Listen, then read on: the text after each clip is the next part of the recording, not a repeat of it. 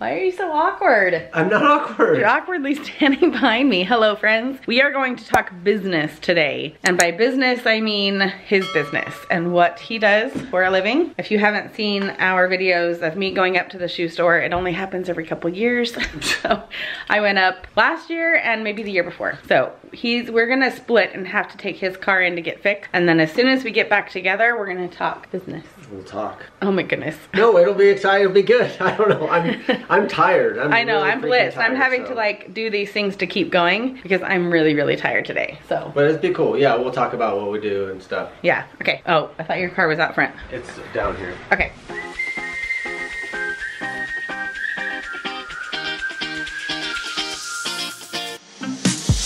Walk along that street, talking nervously. You closer won't be long. All right, I've got Jason on the phone. Do you want to say hi? Hey, how's it going? Exciting. He's in the car right ahead of me, but I can't show you because you'll see his license plate. But I thought I would ask Jason a few basic questions about being a business owner before we start diving into it. Do you like owning your own own business? Most days. right now, it's n- not so much, right? No, no, it's not bad now. But I mean, I think uh, anyone who works in a corporate job, they go home and they say, man, I just want to have my own business and be my own boss and have freedom. And I think anyone who owns their own business is like, I'd I just want to be able to go home from work. I from just want to be able to go home from work. If I, if my computer breaks, call IT. If toilet backs up, call maintenance. Uh, I don't have to be every single department at every single time. Um, the grass is always greener on the other side. Yeah. So there's pros and cons to every setup. Yep. I have enjoyed, uh, you know, being a business owner, and you know, there's been ups, there's been downs. There's things that I like, things that I don't. The ideal business is a business with no employees, no inventory to have any issues with, no landlord. I don't- like none of that exists. What business would that be? It's not. Yeah, that's not a business. I know.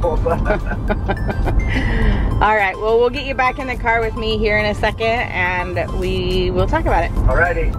Okay, he's gonna go and drop the keys off and then he'll be right back. This is the place that he had it fixed during the last accident and when they fixed, they had, he had that rattle in the car. I don't know if you guys remember that. They were the ones who kind of diagnosed and figured out where it was causing the problem and sent him across the street to have a specialty shop fix it. So this has become his like mechanic place of choice. Fingers crossed that we can actually get this car fixed in two days. Otherwise I'm gonna be stuck without my car for like an entire week and I I can't handle that. So we'll, he'll be right back with us. All right, so we dropped the car. Let's talk about how long have we had, well what is your business? Why don't you tell them for the new people? All right, so it's a little different doing this. Uh, We own a specialty shoe store. What it is is, you know, the sit and fit, comfort, family-owned shoe store the way they used to be. But we work a lot with the doctors. They send patients and stuff to us. Or if people just have their own foot problem and they want to go to a place where somebody actually knows stuff. What I got on my face? Does something on my face? where people actually know something, know about foot problems, know about what shoes will match, not just uh, hand you a box and be like, there you go, give me my commission. That's what we're all about. We've been in business for 18 years and going strong. We bought this business, it was a franchise originally. We, Basically, it was originally a franchise, which if you're interested in any type of franchise, I could do an entire video on how to evaluate that. Most franchises are complete crap. They want to promise things, but then when the rubber meets the road, meaning it costs money and won't. staff, they won't live up to their promises. So Yeah. most franchises are not worth investing in. but we did. And we Yes. did that for many, many years. We did that for a while, and then myself and a few of the other remaining franchisees, we broke away and started our own name, basically working the way we should have been working together. And that was nine. How long have we been in the house? We did all that Nine years ago. Nine years ago. So when we first got married, we had like crap jobs. It was a crap shoot, and Jason was trying to decide, you know, kind of what path he wanted to go down. He had done business management and marketing in college. stay in this. He had done all of that in college. Didn't really know what to do with like. Well, I wanted to be in the outdoor industry. Yeah. And I worked in specialty shops, stuff like that. But the outdoor industry is extremely small. Yeah. He did some other options, which were, were kind of cool. If you want to know about one of the jobs he actually applied for, if you want to tell him. I think we've mentioned it before. I think it's Oh. kind of a cool thing. Whatever. CIA. Yeah, he applied I for the did the CIA whole CIA recruitment thing. he got cleared to DC and did the whole week of interviews and anyway, but he didn't get into that. Um, and so It was at he, the same time we were looking into this business. into this business. So I took a break from looking into this business to pursue that. Yeah, Uh, but what we liked about this business is that we're actually helping people. yeah. that was the Um, biggest thing is that we were helping people. It's constant learning. Yeah. Constantly, uh, you know, you're helping people. People come in and they're recovering from surgery or debilitated, and they haven't been able to walk or be comfortable for years sometimes. And we can help them, and they're in tears many times, or they're super grateful. Yeah. It's uh, it's really nice. It's fun to help people and quality of life improvement. So that's that's what we like about it. Another plus in the beginning, uh, we hired one of our employees from a hair salon. She was the receptionist. before that, we hired a person that I worked at with an outdoor store. That's who I started. Yeah, That's who we first started with. but we hired one of the ladies. Uh, we realized while we were talking to her while he was getting a haircut that she probably had neuropathy because she had diabetes and she was having foot pain. And we started talking to her about it and telling her you need to come up to our clinic that we do for diabetes. And and within a week she was hired and, and working for us. And she had fixed her foot pain and gotten the medical help that she needed and the foot care that she needed. She literally was in a, a bad place with her feet. A lot of that kind of stuff. I know we complain now about our employees but some of our employees from the past have ch- it's We actually have their really good people. We're just kind of talking in general. I mean, we have good people. Yeah. Uh, sure, there's always some that aren't overly your favorite, but Okay, we're gonna take a little break really quick and go into this cute little Bavarian chocolate candy store. It's called Boehm's. It's pretty iconic for our little town here. Look how cute this is. We're gonna go in and get some chocolates for the girls.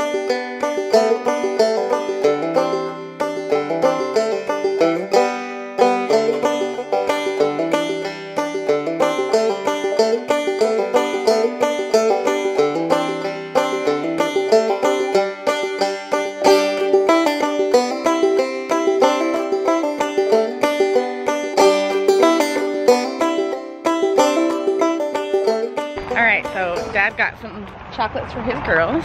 yes. This is already a long-winded conversation, which is why we, oh, the grass is really moist, favorite word. um, anyway, moist. It's squishy. It's squishy. Hang on. All right, so we're gonna wrap this up a little bit here. There we go. Got something to put my hand on.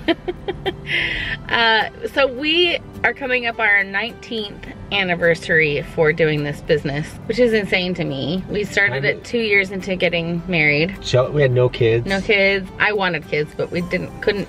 We needed to get the business going before I could have kids. A little drop there. A little. yeah, but it's been good, and you know, it's not. We're not millionaires. No, no. We are we're, we're not making as much money as we initially thought. No. But we're we're obviously providing for our family. We have extra time. We've managed to. Dayna's great at using points, Mm-hmm. so it's provided for our family. I do like that we are helping people, and we've had great people working for us. We've had amazing customers, and you know we'll just keep going. I mean, at some point, obviously, we need to retire or do something, but uh, Yeah. it's been it's been good. I mean, there's far worse things we could have been doing. You know, could have been laid off, fired. That's one advantage to having your own job is you're the last person to get go unemployed. I would have fired him a long time ago.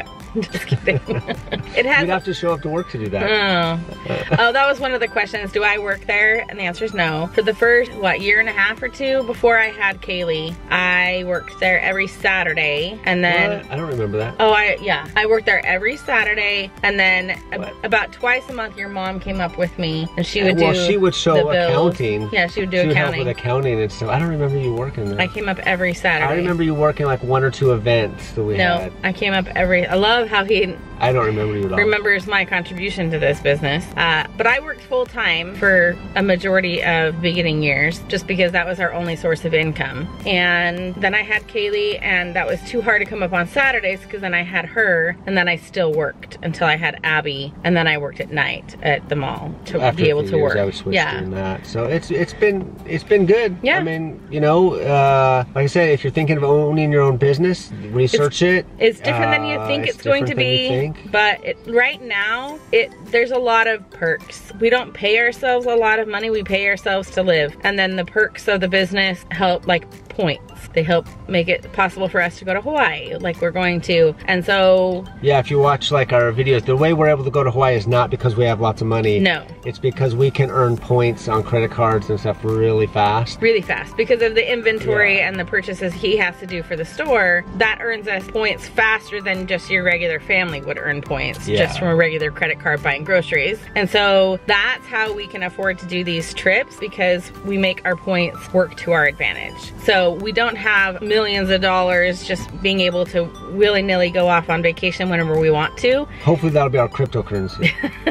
yeah, we hope that one takes off. But I just hope that you guys got a glimpse into what he does. And so when I say he's working today or he's not working or it's his normal day off, but he has to work, that's why we have the flexibility of him being able to like work during the week and not work during the week. Um, so if you have any questions about what we do or business or anything like that, I love talking with people about business ideas, what they do, how to make things better. Leave comments below. I will totally respond in paragraphs if I need to. But uh, yeah, seriously, any questions or anything like that, whether it's about how do you make points work, I have my own business. Yeah. Yeah. yeah. we didn't have money to begin this. We took out loans, we got business Yeah, loans. small business. So we had to have some of our money, but it was small amount Yeah. compared. But But he hasn't had, we haven't been in debt for the business for since the first we got out. Yeah, we got out of debt in the first couple years. So, you know, we are lucky that we are still going through this whole pandemic and it's doing better than No, we're really lucky. we ever expected it to Um, be. So, There's a lot of people that have gone out of business either through retiring because they're like, okay, I'm old enough, I'm out, or unfortunately closing their doors because of supply issues, cash flow, Mm-hmm. landlords. And so we're lucky. And anybody, you know, that's had their business go under, feel for you. yeah. Um, I know hard. some people have asked us, do we have a website, web, an online presence to be able to support our, our store and being able to buy shoes? Because they're regular shoes, they're Brooks and Asics and they're and stuff. regular shoes, but we don't have an online presence. It's an Well, we in-store, we have, a website, but we don't sell online because we're all about fitting you Yeah. and stuff like that. And so we appreciate that. Uh, If you're in Seattle, yeah, so come by the store there, you know. It's, Yeah. And we haven't really said what it is, but it's Sole Perfection Shoes. soleperfectionshoes.com or whatever if you want to see what we do. Yeah. Um, but anyways, yeah, we're all about fitting people. That's why we don't sell online. Yeah, that kind of you lose that entire niche if you sell online. One thing that Jason also does is meet with the reps, whether it's in store or in hotels or at conventions, and he goes over the new collections for the next season and he looks at the new models, the new versions, and new colors, and then puts in a bulk order to save money. So I hope that gives a little bit more insight into who we are and let us know if you have any questions and thanks for joining us. Yeah, thanks for watching. Again, seriously, I'll answer any questions, go as in deep in depth as I can. But yeah, thanks for watching. Subscribe. See you next time. more. Bye guys.